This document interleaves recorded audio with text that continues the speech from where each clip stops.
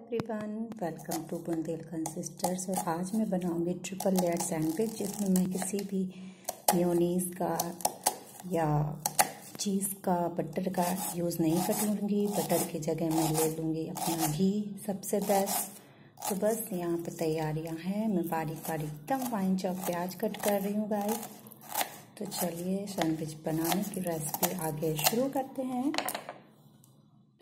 तो guys first layer में मैं यूज़ करूँगी, ये है हमारे पास उबला हुआ बंद गोभी और बारीक कटा हुआ प्याज और ये है मेरे पास उबले हुए स्वीट कॉर्न और हरी मिर्च। पहले लेना है बंद गोभी वाली लेयरिंग तो उसमें डाल दीजिए सॉल्ट काली मिर्च सीजनिंग अब इन सभी को कर लीजिए अच्छे से मिक्स और फिर इसमें डाल दीजिए वाइट सॉस यहाँ मैं ऐड कर रही हूँ वाइट सॉस मैं ले रही हूँ दो से तीन चम्मच।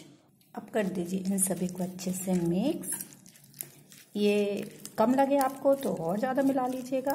वाइट सॉस अभी सर्दियाँ हैं तो आप घर में फ्रिज में स्टोर भी कर सकते हैं बहुत आराम से।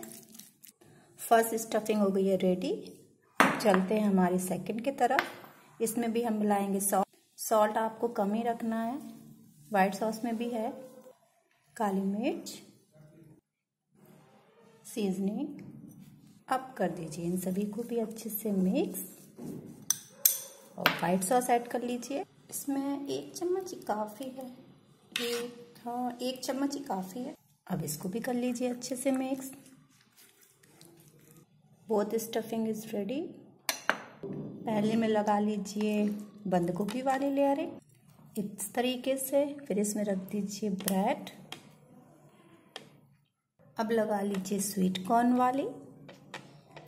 अब इसको भी कर दीजिए कवर और इसको सेक लेंगे घी की मदद से।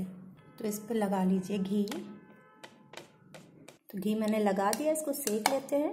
तो पहले एक साइड से इसको सेक लीजिए अच्छे से। अब मैं दूसरी साइड भी इसमें घी लगा देती हूँ।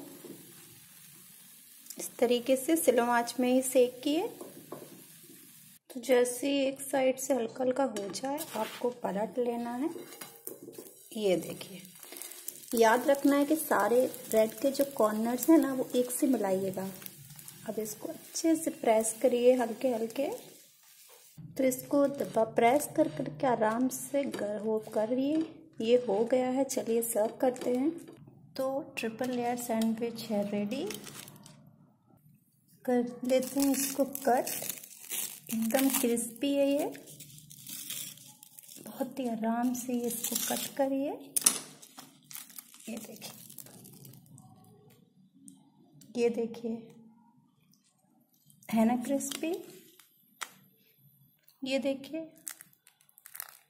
Hope you like it please guys पसंद आता है।